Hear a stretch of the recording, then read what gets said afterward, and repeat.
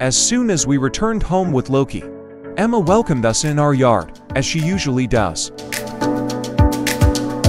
However, this time she was really surprised by the newcomer who arrived with us.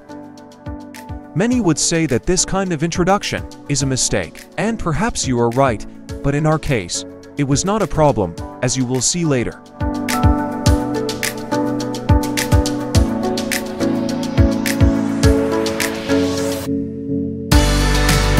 From the moment I opened the transporter, Loki started behaving like he had lived here his whole life.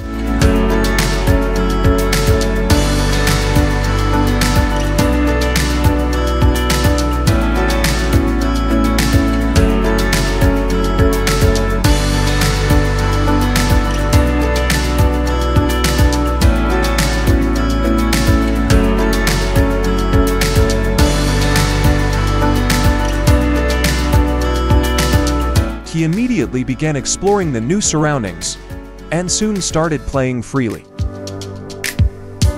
Our current apartment has two rooms, so we couldn't place him in a separate room.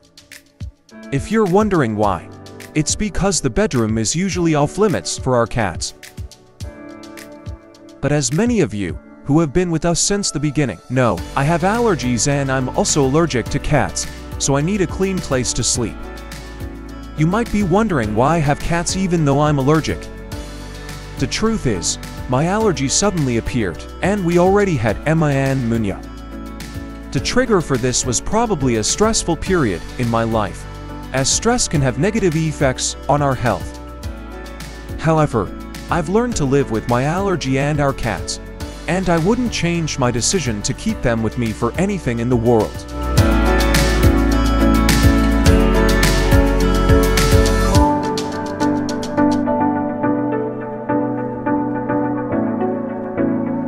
Of course, initially, Emma wasn't happy with Loki being in the house. But soon her curiosity prevails, and she started getting closer and closer to him.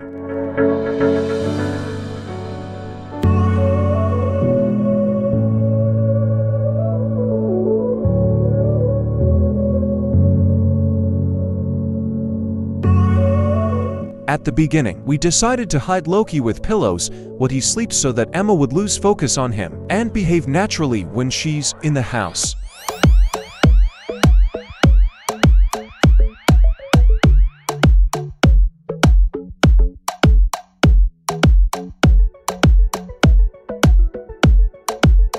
During that time, we showed Emma a lot of love and let her feel comfortable with Loki's scent in the house.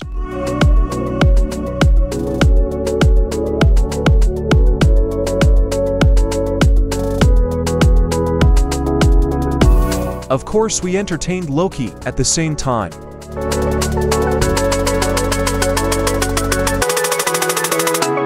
We also entertained her with plenty of playtime, and constantly tried to get her to play closer and closer to him without seeing him. Our goal was to associate the feeling of Joe while playing, without focusing on his scent, making her comfortable in his presence.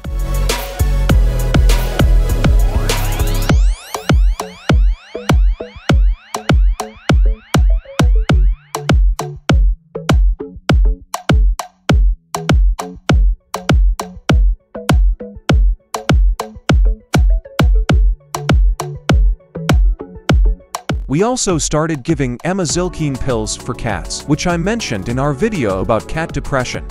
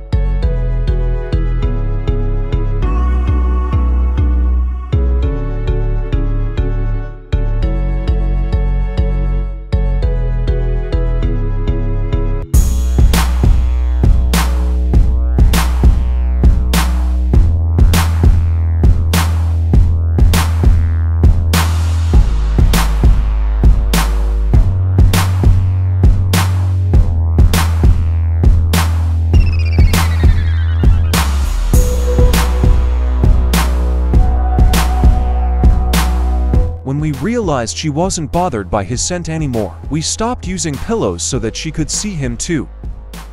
Of course, she always had the option to see him from her cat tower, where she feels safe.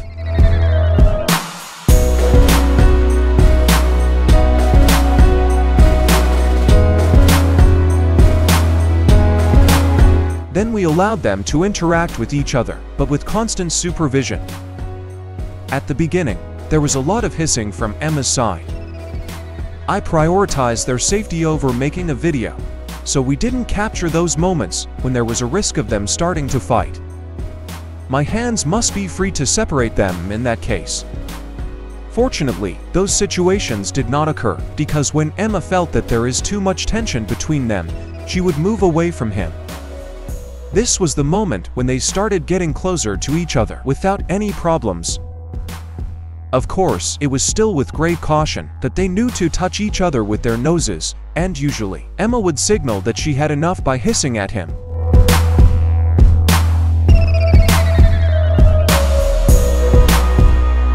We kept the cat tower as Emma's safe place but allowed Loki, at beginning, to be in lower positions.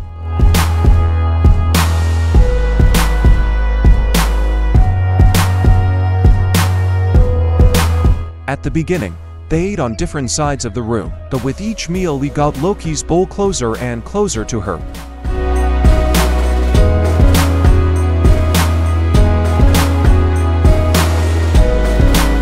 The next step was to play with both at the same time, redirecting their focus to the game rather than each other.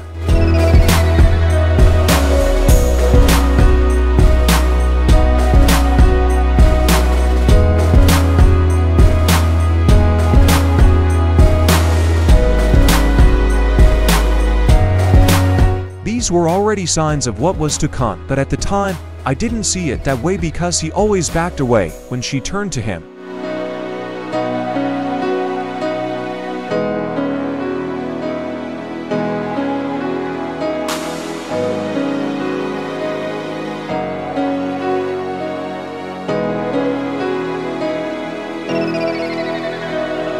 I left this part of video on purpose just so you can see that I don't want to film a dangerous situation, and people who do it just for views and likes should be ashamed of themselves.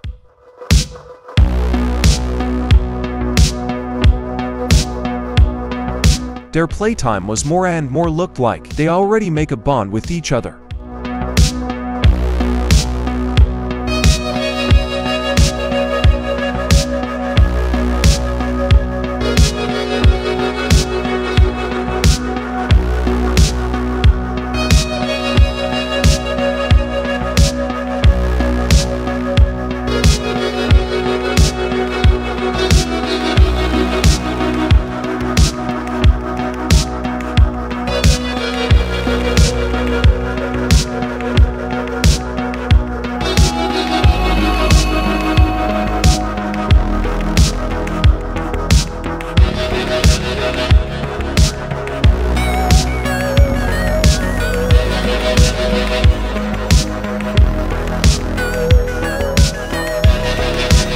However, after this beautiful moment, when I was already sure they had fully bonded, Loki started becoming more aggressive towards Emma. It began as a game, but Emma's hissing no longer kept him away, as it did before. She would try to run away from him, but he would chase her and jump on her. There were situations where she made noses that cat makes when they are fighting for real, and even that didn't deter him. Of course, we intervened every time, but sometimes he was so fast that we couldn't prevent him from attacking her in the first place. I don't have any videos of those moments. As I've mentioned before, my priority is their safety, not recording in those situations. I'm doing my best to protect them both. Additionally, he started climbing onto her cat tower, so we had to prevent that, as she needs a safe place to escape from him.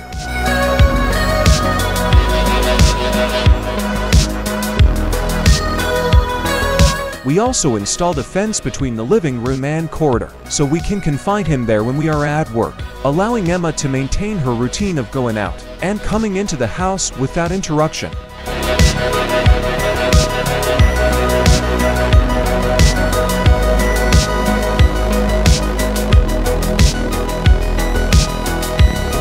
Of course this is filled with toys when he is here. Also he has access to plenty of food water and his litter box, I will consider this the end of the first part. As I hope to soon create another video showing you Emma and Loki cuddling each other. Thanks for watching and for all support.